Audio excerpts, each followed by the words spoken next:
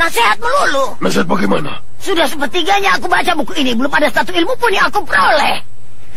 Coba baca. Bagaimana isinya, Nek? Ya. Wahai kau yang berhati gelap, yang selalu dalam jalan kesesatan.